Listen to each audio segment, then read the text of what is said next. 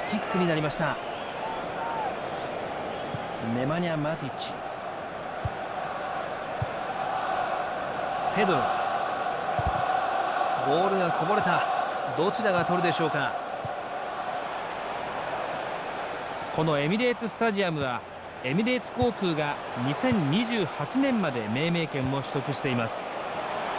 公式スポンサー以外の広告が禁止される試合ではアーセナルスタジアムとも呼ばれています。雰囲気が素晴らしいスタジアムですね。慎重に攻撃を組み立てています。サンチェス!ゴール決まった!見事なゴールは先制点だ!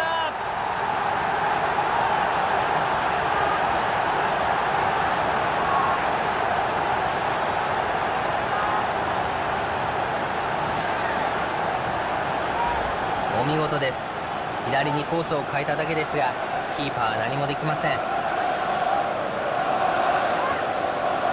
別の角度からご覧ください。